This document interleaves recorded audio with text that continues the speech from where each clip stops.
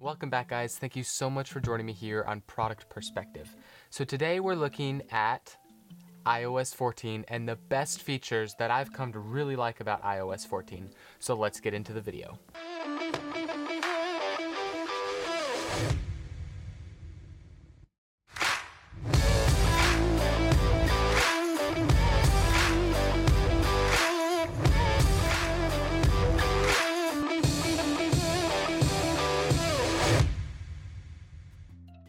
Okay, so as you can probably already tell, I'm going to talk about widgets first. And so as you can see right here, I don't have anything on my front screen. And these over here, I just stuck up so you guys can see how it works. So widgets are these apps, and right now it's just Apple apps. So only Apple apps you can have a widget. Uh, so of course you have like weather, Apple Music, Apple Stocks, Apple, pretty much any Apple app. Um, and I use mostly over here on the very left screen. I have my battery level, I have calendar, I have Apple Weather, Apple News, Apple Stocks, and that's pretty much all I use widgets for right now. I can't wait until the third-party apps uh, come out with their widgets. Apple just doesn't have that now in the beta version, which you can actually pick up the beta version. Uh, I'm gonna have a video coming out soon, how to get the beta version on your phone and your computer. Uh, but for right now, I'm just gonna show iOS 13. Uh, and so yeah, widgets are, you can stick them anywhere. You can see right here, you can edit them and you can put them in the middle. You can put them right here. Okay, so you can't put them one on each side. That's kind of interesting. Uh, you can put it on the top like that, pretty much anywhere. And this one right here, what I actually have right now is called Smart Stack. And so you can see right here, it used Siri suggestions for my top used apps. Um, right here you have clock, you have notes, you have Apple News, you have calendar, you have photos, you have weather. That's a smart stack and I can't wait until we have those third-party apps where I could put Spotify, I could put uh, Pandora, Instagram, I mean just any any third-party app. Right now, why I don't have on my front screen is I just don't really use any of those apps and I don't want that taking up a big spot on my phone. But this is really cool to have widgets finally now on iPhone. It's so exciting. So yes, right here, as you can see the widgets, those are pretty cool. And of course, you guys can mess around with this once you get the beta version.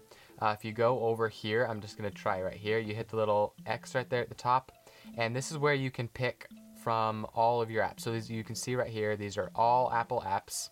And say, let's tap on battery. You can get three different versions right here. So you can have a huge list, which shows all of your devices, or you can have this sideways list right here, or you can have just a small square list like this, which is usually what I use for mine. Um, right here, like if you did stocks, you can have stocks like that. You can have stocks like that, stocks like this. This one actually has four, so you can actually have a lot like that. Uh, Apple Music, same thing. You pretty much have all of these in the color of the app. The little button down here to add the widget also changes with the color of each app, so it's pretty cool. And if you are wondering, the color of Apple Music is now this pinkish red, and that's with iOS 14, the second beta version, I believe. Okay, so enough with widgets. The next thing I want to talk about, which is really, really extremely exciting is picture in picture. I think that's what it's called. Let me see here. Yeah, so right here you can pretty much play any video. Um, this is not on YouTube or Google yet. Um, hopefully that of course will change. But you can actually overlay the video that you were watching. Um, so you can do this on so you can do this on Safari or um, Apple TV right here. Let me get to let's start playing here. How about The Martian? So we're gonna go right here. We're gonna hit play, and as you can tell, you have this little button now. The top shows a little arrow. It will make it small, and now that will overlay over your screen. So see this? Now you can be watching something, and if you double tap, it'll make it bigger, or if you double tap again, it'll make it bigger like that. And you can move this down to the bottom. You can so you can be right there. You can be scrolling around. You can open up this, and you can have this movie playing right here. And as you can see, you can swipe it over and now it's just this little icon on the side of your phone and it still might be playing. So if you're watching, so if you're watching a ball game or a music video, it'll still be playing the sound right now. And if you tap on it, then it will come back. And if you hit this right here, that'll make it full screen. Or we will make it back down to small screen. We'll make it even smaller here, right in the corner. And now you can have this tiny little video playing And that is super cool. And as you can see, you can't put it like in the middle of your screen. It's either the bottom or the top. But I just think that's pretty cool to have something like that that you can overlay a video over any part of your screen, anywhere you go to open up, it's gonna be there. Click here, it'll, it'll just be anywhere. And that's just super cool. And I can't wait until YouTube and stuff like that has this picture in picture because that just that's just really nice to have that overlaying over part of your screen. Okay, the next thing I want to talk about, which is probably the I would guess number 1 to second best feature about iOS 14 is let's go here. We're going to go to accessibility. This little thing under touch that it is called back tap. And so literally you can click right here and you can set double tap your back like this and Siri will come up just by double tapping the back of your phone. And I'll talk about Siri in just a minute. Or if you triple tap, it'll take a screenshot. And you can pretty much add anything you want on there. You could put opening up the camera if you use Siri Suggest. You could do opening up one of your favorite apps. You could be taking a picture. You know, anything you can use with those with those back tap. And I think that's really cool. And yes, it does mess up here and there. And so I'm sure with the updates until the final iOS 14, um, it won't mess up. But if you kind of set down your phone like this, okay, didn't do there, but if you kind of go like this, so let's get, oh, it took a screenshot instead of Siri. See, so it will mess up here and there, but you'll just have to deal with that. So if I double tap, we're gonna get to Siri. And Siri is one of the best I didn't features. get that. Could you try again? and Siri is pretty awesome. So if we get Siri here, you can see it's a whole new design. It doesn't fill up the whole screen. You can see your apps, you can be reading something, and Siri is just this nice animated circle at the bottom. What time is it? It's It'll 3:39 pop p.m. up here right on the top, and you can interact with that, open it from right there. So it's kind of like a notification there at the top. Siri is changing its whole look.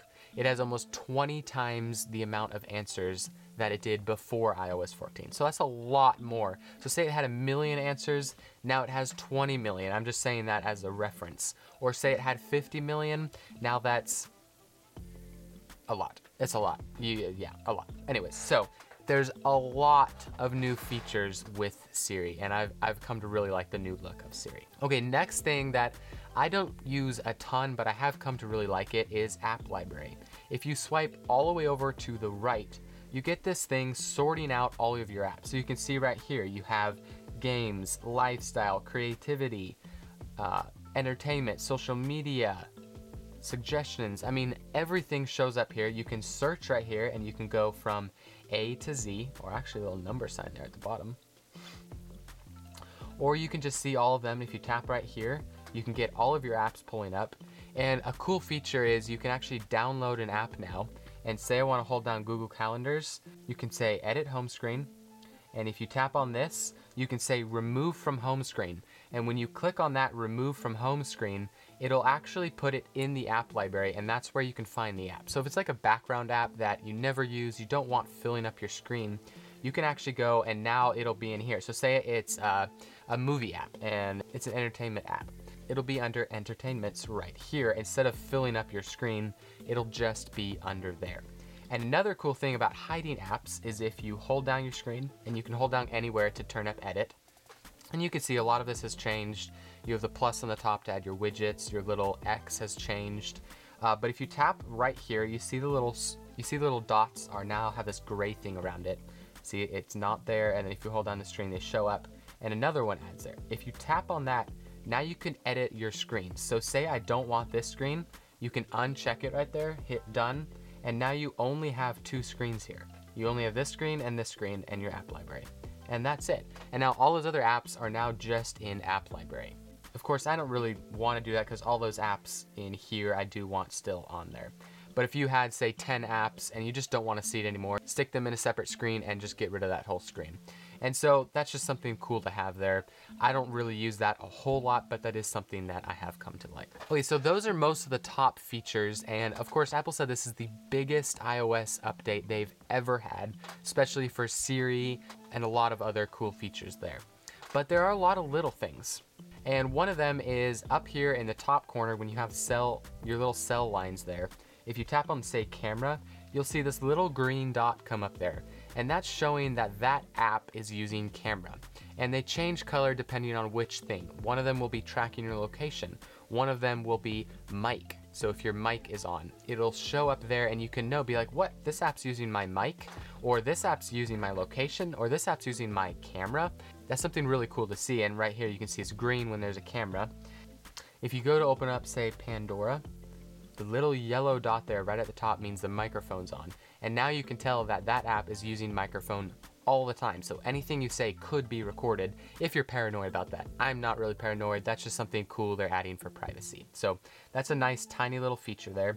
The next feature is in camera. So if you open up the camera and you go to dark mode and you go to take a picture, there's this little X now that you can line up and keep your photo as steady as you can. So here's show it again.